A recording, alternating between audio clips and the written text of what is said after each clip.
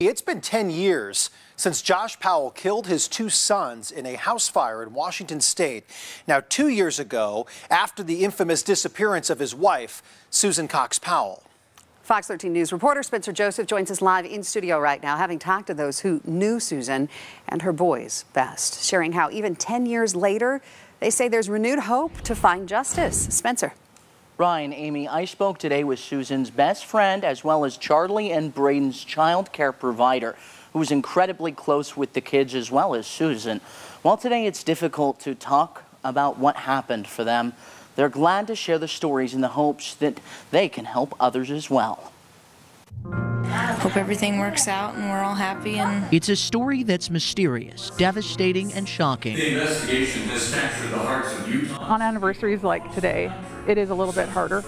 The disappearance of Susan Cox Powell captivated the nation, but it was the death of her two boys, Charlie and Braden, along with her husband, Josh Powell, who killed them, that is the most shocking of all. The boys were killed by their father in 2012. Ten years ago to the day, Josh locked the door on a social worker, and before anything could be done, the house was lit ablaze. That was February 5th, 2012. Like I find myself trying to remember what what did Charlie and Braden sound like? You know, how did they act? Kiirsi is Susan's best friend. Other days it just feels like yesterday that I said goodbye to her. She remembers that day all too well. You find yourself remembering where you were when you got the call. I just cried and just couldn't believe it was true. This is just another reminder that Susan's still missing. It's a another reminder that there's a court case that's still pending. Debbie Caldwell is another who remembers. As the boys' daycare provider, she knew them and Susan very well. I felt right away I had a connection to Susan because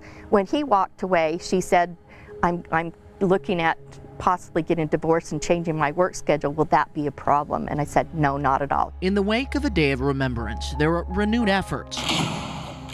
Right now in the West Desert, Utah's own Heavy D, Dave Sparks, is exploring a mine shaft that conspiracy theorists have labeled as Susan's possible resting place. Caldwell spent the day with the team looking for any signs. Many years we've talked about, you know, how can we get to the bottom of this mine? How can we put this theory to rest? And this team of guys have taken it on. And efforts are also being made to protect other women and children from the same fate. I have personally been messaged by many, many women. Oh, thousands, thousands of stories. To tell me, I just want you to know that your friend did not die for nothing. I am alive today and so are my children. Many of those women did not realize they were they were being abused. While nothing will make things okay, it's the help her story has provided to thousands that those still hold on to today, 10 years later. People will look at Susan's picture and her son's and realize this was a beautiful, amazing soul who left this life way too early. Right now, there is renewed efforts to make sure that there is legislative action for survivors of domestic violence, as well as efforts to pass bills across the country that limit the ability for those accused of murder, like Josh, to see their children, preventing what happened today 10 years ago from ever happening again. In studio, Spencer Joseph, Fox 13 News, Utah.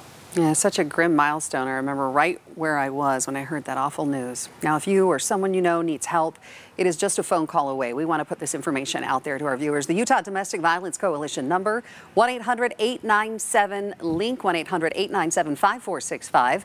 If you or a family member is in immediate danger, of course, call 911.